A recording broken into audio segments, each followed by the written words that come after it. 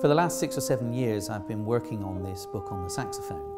I felt it was important to write a book on the saxophone because very few pe other people have actually written about the saxophone. Many other instruments, flute, trombone, clarinet, um, they've all got lots of different books on them. The saxophone has nothing like that kind of scholarly literature. And the publisher involved, Yale University Press, uh, have instituted a series all about musical instruments, and they asked me if I'd write a book on the saxophone which would fit in that series. That's how the book has come about, and it's just been published.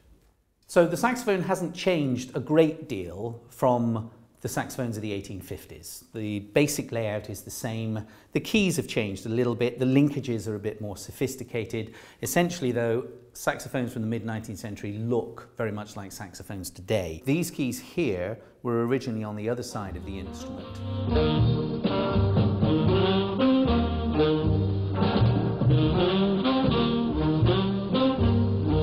It sounds like the human voice. You can manipulate it quite like the human voice. Um, and I think that's one of the reasons why the saxophone became used by a lot of jazz musicians is because they associated it uh, with the blues singers, with the blues vocal techniques, and found that they could reproduce that in their own jazz improvisations.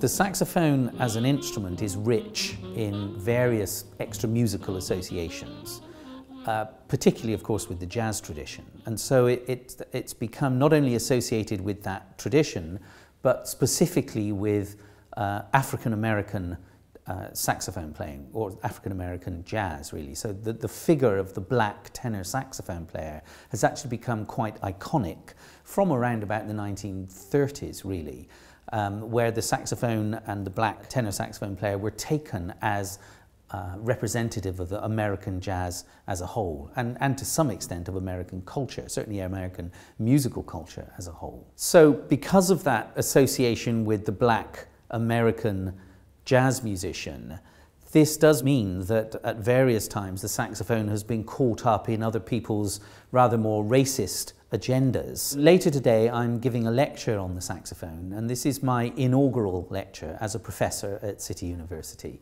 I've been waiting a little while for this one because I wanted to tie it into the publication of the book on the saxophone which has just come out.